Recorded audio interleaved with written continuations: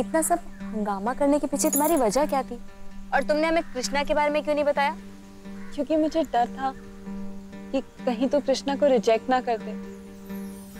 क्योंकि तुझे वो पहले से ही पसंद नहीं था। तो उसने पसंद करने लायक है ही क्या?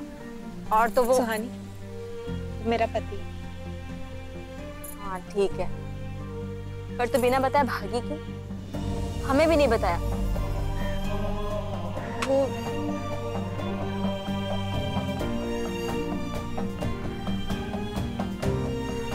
यार, मॉम मेरा रिश्ता कराने के पीछे पड़ गई थी।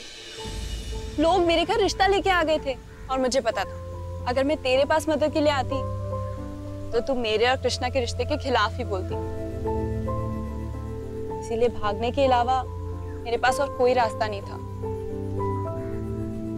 सोमू तुमने कितना कुछ अकेले ही बर्दाश्त किया। और हमें अभी भी सुन के बहुत बुरा लग रहा है।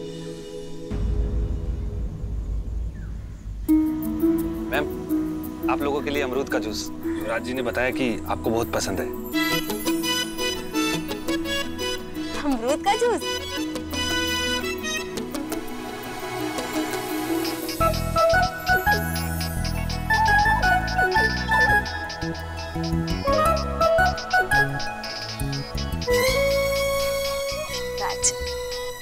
हेलो हाँ सुहानी वो जूस और स्नैक्स ऑर्डर किए थे। मिल गए? हाँ मिल गए। और हमारी और सोमू की तरफ़ से बड़ा वाला थैंक यू चलो गुड अपनी दोस्त के साथ एंजॉय करो ओके हैव फन ठीक है। बाय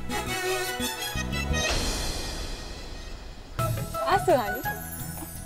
कमाल के चलवे हैं भाई तुम्हारे। मतलब पति देव पल पल की खबर रखते उसे इतना ख्याल है तेरा। अचानक इतना प्यार। अचानक? अचानक कहाँ? वो तो हमेशा से हमसे इतना ही प्यार करता है। हाँ वही। तुम्हें पता तीज का व्रत ना हमने समोसे खा के छोड़ा युवराज लाए थे। खैर तो ये सब छोड़। ये बता कि तू और कृष्णा तो एक दूसरे से बहुत प्यार करते हैं। है ना? और उनके परिवार वाले, उनका क्या? अच्छा अच्छा काका से मिली? काका के लिए तो अब तो सौम्या बेबी नहीं, बहू बन गई बात हुई उनसे? नहीं पर वो कल आने वाले हैं। तभी बात होगी। जैसे उनके आने के पहले मुझे बहुत सारी तैयारियाँ भी करनी है। तूने तो बताया कि राखी साथ में है। तो तेरे पति और ननद के साथ मिलके सब कुछ आराम से मैनेज हो जाएगा। अब तू बता तेरे ससुराल में सबसे कड़क कौन है? कड़क? कड़क तो दादी हैं बहुत नियम कानून वाली हैं। और वो जो भी काम दे काम।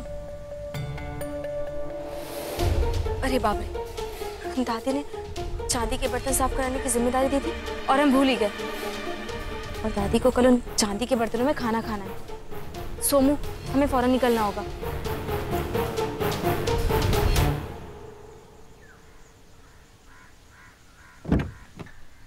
आइए मैडम युवराज सर ने कहा था कहीं और जाना हो तो बताइए। कहीं नहीं घर ही जाना है। सौम्या तुम्हें कहीं ड्रॉप कर दे? नहीं, कृष्णा यही आने वाला है तो हम साथ में चले जाएँगे। तुझे देर हो रही है ना? तू जा। हाँ ठीक है। अच्छा सुन, कल के बारे में ना बाद में प्लान करें हाँ? तुझसे मिलके ना दिल और दिमाग दोनों से बोझ उतर गए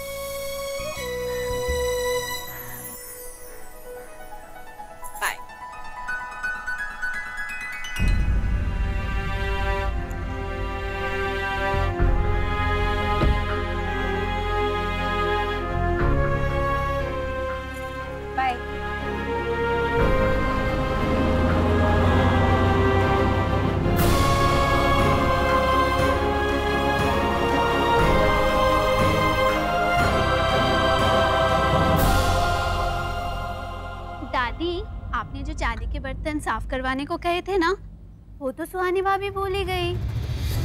अब कल सवेरे आप किसमें खाएँगे? सॉरी दादी वो हम ना दूसरे कामों में अटक गए थे। सॉरी बोलने से बर्तन नहीं चमकने वाली। जो ज़िम्मेदारी दी गई थी उसे निभाना तुम्हारा फ़र्ज़ था। हाँ दादी लेकिन लेकिन वेकिन कुछ नहीं सुनना हमें। अगर तुमने वक्त से इन बर्तनों को साफ़ नहीं करवाया तो इन बर्तनों को तुम्हें खुद साफ़ करना होगा। और हाँ कल सुबह इन्हीं बर्तनों में नाश्ता करेंगे सब लोग। तो ये कल सुबह तक सब ढंग से साफ़ हो जाने चाहिए। माँ जी ये सब इतना जल्दी कैसे हो पाएगा? हो जाता। अगर इस लड़की का घर के काम पर थोड़ा ध्यान होता तो। ए लड़की और तुम घूमने फिरने पर कम और घर के काम पे ज़्यादा ध्यान दो। समझी? पर माँ जी ये कहीं जाती ही कहाँ है? तुम्हें इसकी वकालत करने की ज़रूरत नहीं है, प्रतिमा।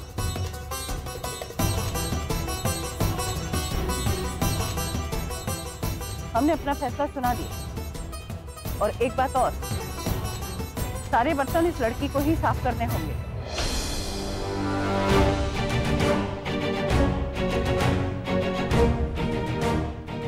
कोई इसकी मदद नहीं करेगा। कोई नहीं मतलब कोई नहीं। तुम दोनों भी नहीं। जी दादी।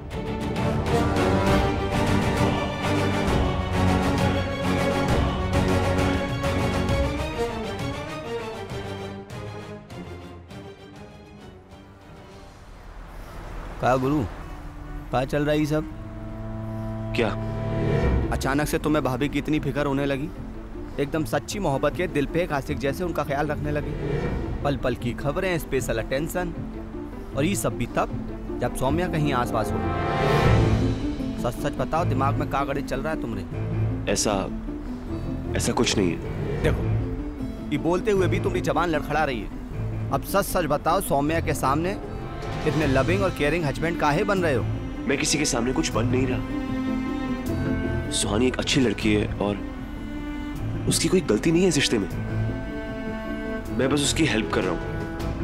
और इसमें कोई बुराई नहीं। बुरा है नहीं पर बुरा लगा अगर सुहानी भाभी को ये बात पता चल जाए कि तुम ये सब सौम्या को नीचा दिखाने के लिए और उसकी बेइज्जती करने के लिए कर रहे हो। बकवास कम कर शरद।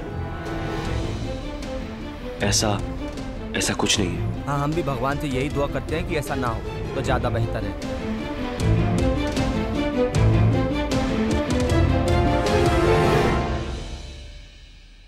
भावना माँ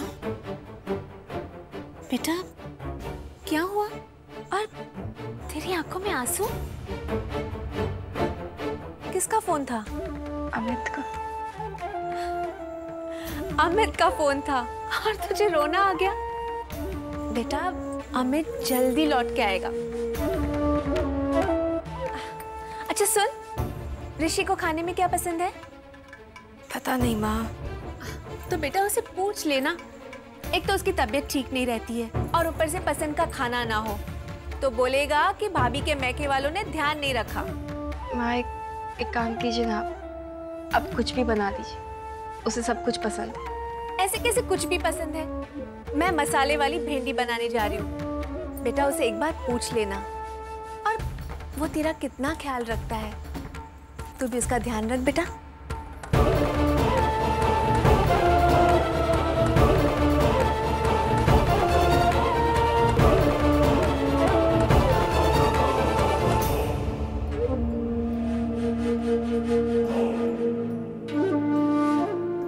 बताएँ हम कि ऋषि कितना बड़ा ड्रामेबाज है। उसका सबको इज़्ज़त देना बस एक ढोंग है। हम किसी से भी कहेंगे, कोई हमारी बात का यकीन नहीं करेगा। और गप्पे मारो सुहानी देवी। तब तो सोमू से क्या मिलने गई? समय का ध्यान ही नहीं रहा। बस बकबक देवी चालू हो गई तो बंद ही नहीं होती। अब भुगतो दादी की सजा। ये बर्तन भी कितने ढीठ हैं। कब से मांजे जा रहे हैं? साफ़ ही नहीं होते?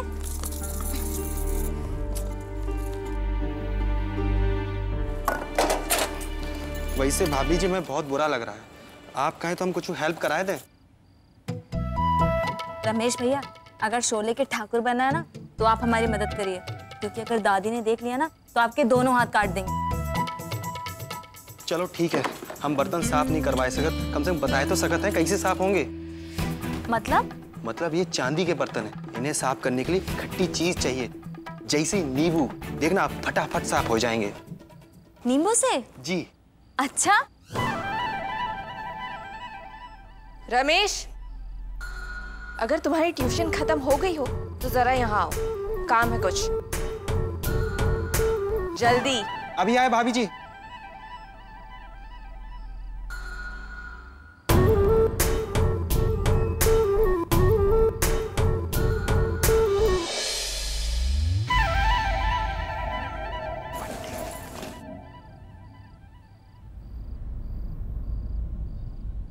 बहुत बुरा लग रहा है सुहानी भाभी तुम्हें काम करते देखकर। पर क्या करूँ? अगर दादी के नियम कानून ने मेरे हाथ न रोके होते ना तो मैं तुम्हारे हाथ बटा देती। कोई बात नहीं। अब तो ये बर्तन जल्दी साफ़ होने वाले हैं। वो कैसे? रमेश भैया ने बताया कि नींबू से ये बर्तन फटाफट साफ़ हो जाएँगे। आ, ए, एक काम करती हूँ। मैं तुम्हारे लिए नींबू लेके आती हूँ हाँ? अरे नहीं नहीं। अरे हाँ हाँ। मैं ले आती हूँ ना, इतना तो कर ही सकती हूँ तुम्हारे लिए। मैं यू गई और यू आई। हाँ तुम यही रहो।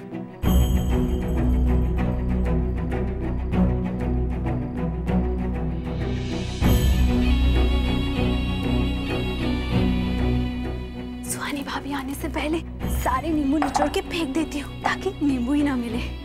और सुहानी भाभी बर्तन साफ़ भी ना कर पाए, ना ही दादी को इम्प्रेस कर पाए।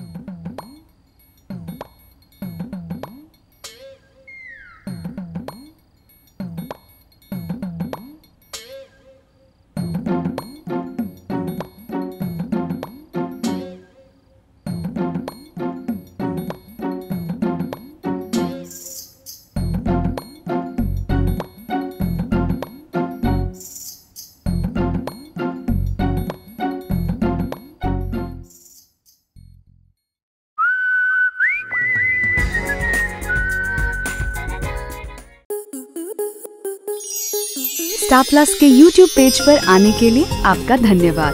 अपने फेवरेट शोज़ देखने के लिए subscribe to Star Plus YouTube page and hit the bell icon